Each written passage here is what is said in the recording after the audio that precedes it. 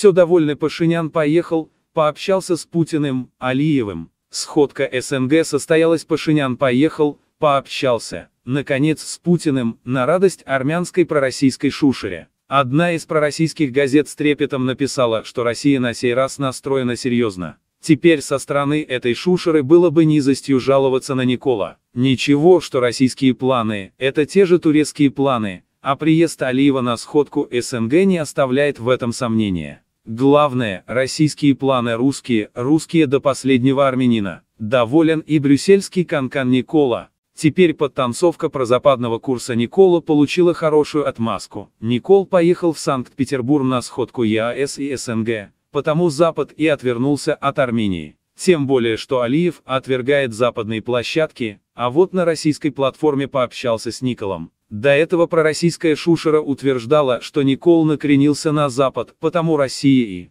А преступная клика Никол Вова Илюша продолжает свой кровавый цирк под аккомпанемент дебильного продажного политикума и СМИ Армении.